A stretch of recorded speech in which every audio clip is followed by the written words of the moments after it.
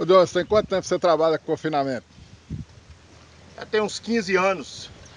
Eu trabalhei com confinamento, nós somos ah, no Pará uma das primeiras fazendas a fazer confinamento.